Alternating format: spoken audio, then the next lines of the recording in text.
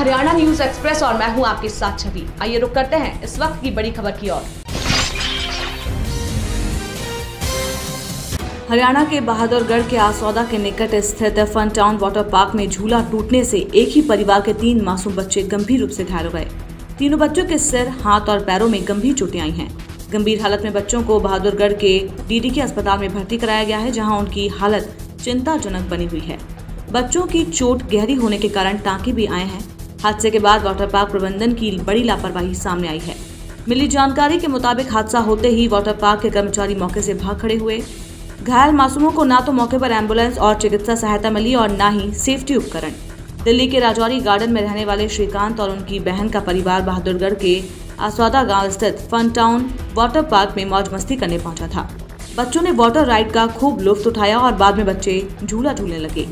जब बहुत सारे बच्चे एक टॉय ट्रेन वाले झूले पर सवार हुए तो अचानक से झूले की स्पीड बढ़ गई, जिसकी वजह से टॉय ट्रेन वाले झूले के पीछे लगे दो डिब्बे टूटकर दूर जा गिरे, जिसके नीचे दबने से कई बच्चों को चोटें आई हैं, जिनमें से तीन बच्चे एक ही परिवार के हैं।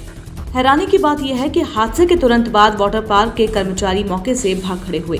परिजनों ने बताया कि उन्होंने बच्चों को अस्पताल पहुँचाने के लिए प्रबंधन से गुहार लगाई, लेकिन कोई भी कर्मचारी उनका साथ देने के लिए तैयार नहीं हुआ।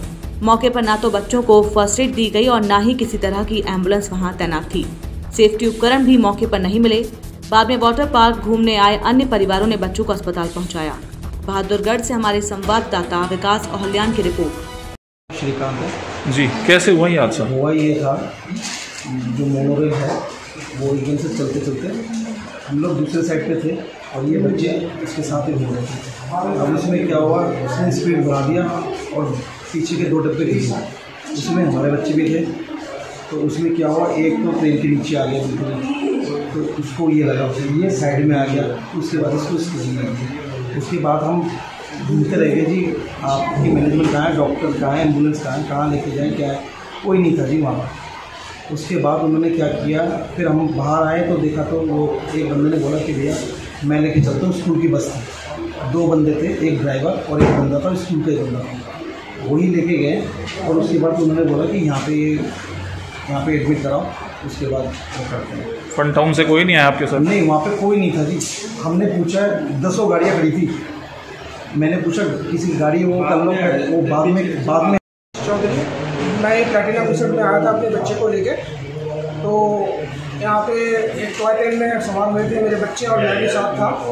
तो तेज़ गति के कारण ड्राइवर के गलती या किसी बता नहीं पाऊँगा। तेज़ गति के कारण वो पलटी कर गया है डब्बा। तो उसमें मेरे बच्चे इंजर्ड हुए काफ़ी और तीनों बच्चे इंजर्ड हुए। मैं भी थोड़ा बहुत हुआ लेकिन मैं बर्दाश्त कर गया। बच्चे बर्दाश्त नहीं कर पाए।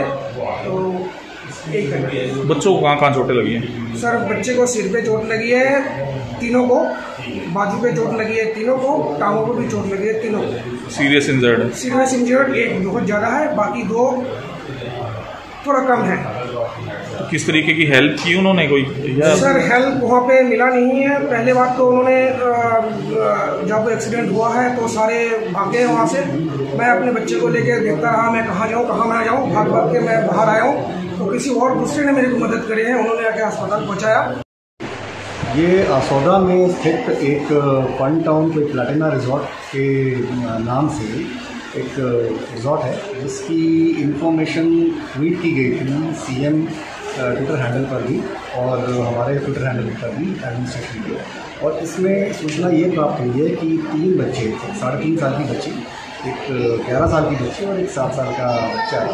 इन सबको कोई झूला झूलते हुए, ट्रेन में झूलते समय उनको गंभीर चोटें लगी। एक बच्चे को सिर में सीवियर हेड इंजरी हुई है, दूसरे बच्चे को भी हेड इंजरी हुई है, वो थोड़ी कम सीवियर है और एक बच्ची के लेग में टिश्यू टूट के और फ्रैक्चर तो शायद नहीं है, लेकिन पैर में भी काफ़ी अच्छी गंभीर चोट है और कौन है ये रिजॉर्ट के संचालक? उनके लिए हमने फायर वालों को और जो अदर सेफ्टी डिपार्टमेंट्स हैं, उनको हमने इन्फॉर्म किया है। एस एच ओ आसौदा को इन्फॉर्म कर दिया गया है कि हमारे फेसबुक पेज को लाइक फॉलो और शेयर करें। साथ ही यूट्यूब चैनल को लाइक करें सब्सक्राइब करें और ताज़ा खबरों के लिए बेल आइकॉन को दबाना न भूलें।